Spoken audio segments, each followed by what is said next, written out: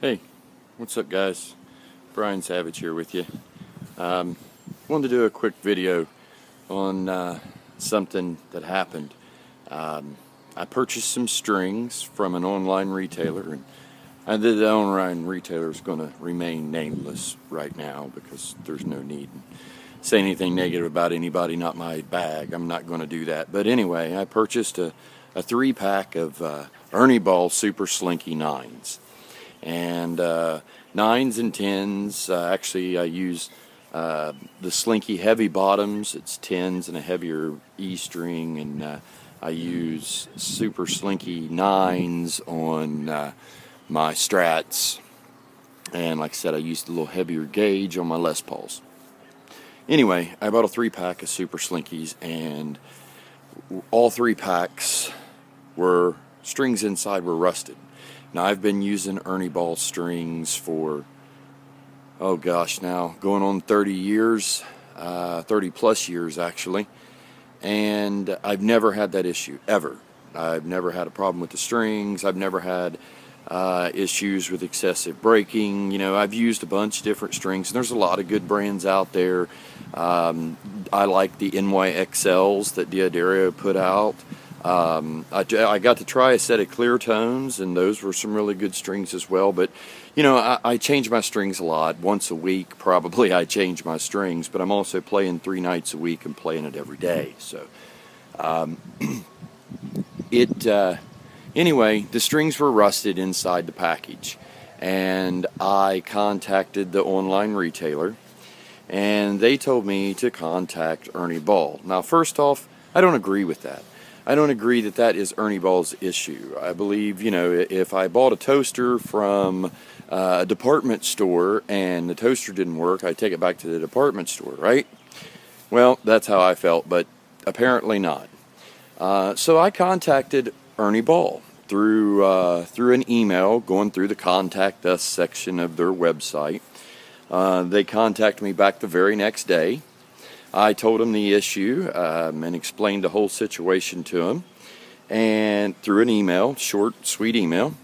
And uh, they emailed me back and asked if, uh, you know, you know, apologize for the situation. That sometimes things happen in manufacturing and da da da da da. And hey, I get that. Like I said, 30 plus years I've been using them. I've never had an issue. So um, I don't put this on Ernie Ball. I believe this is more something the I my feelings are is that the online retailer had uh, packs of strings that had been setting in their warehouse for years, and unfortunately, they sent me three of them.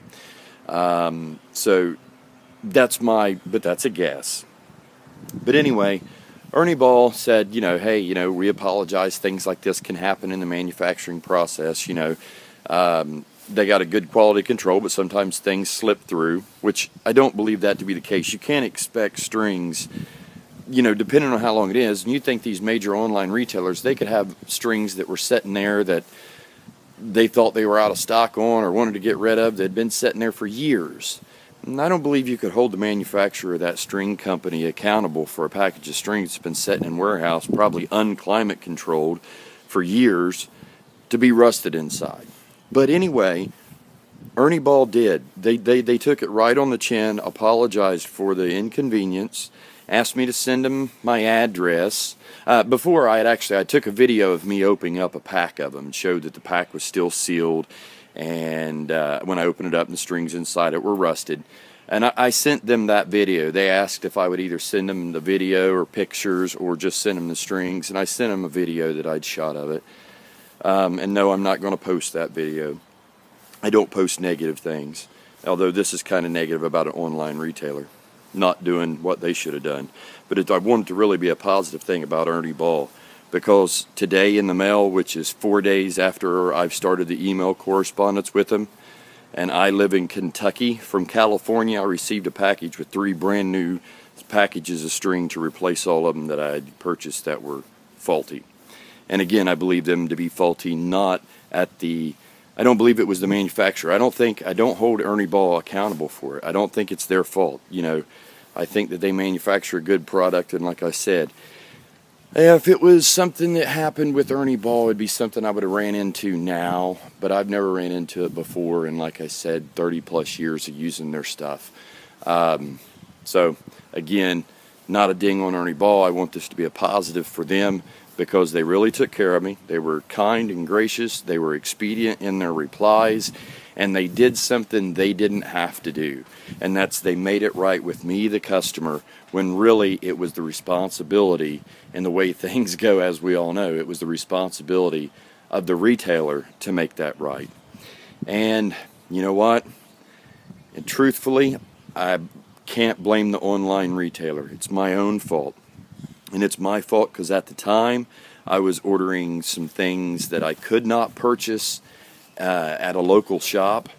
The, the local shops didn't carry the equipment that I was after. Um, and so when I did that, I went ahead and threw three packs of strings in there with the order. And that was my fault. I should have went down to my local music shop and bought the strings there and because I guarantee you, when I opened up a pack and I took them back down there to them and they were rusted, I would have got three new packs of strings right then and there. Um, and I could have done that, and I should have. So that's on me. I, again, if you can buy local, please buy local. I don't care if you're going to save 50 bucks buying it online. Spend the extra 50 bucks because that 50 bucks is going into the tax pool where you live to fix your roads, to upgrade your community, to pay the employees to come and pick up your garbage and city workers and all those kind of things that taxes pay for. And not only that, you're helping out somebody that lives in your neighborhood, keeping a business alive. And when you can shop local, you have someone locally you can deal with that can help you out when issues like this arrive. So, I've ranted long enough. I want to say a big shout out. Thank you very much to everyone at Ernie Ball and the customer service department. You guys are excellent. I love your products from your guitars to your basses to your strings and other accessories. I've used them for years. I enjoy them and I believe them to be a high quality, high quality stuff. Uh, and again, buy local if at all possible, guys. Share the music, share the love. Peace out.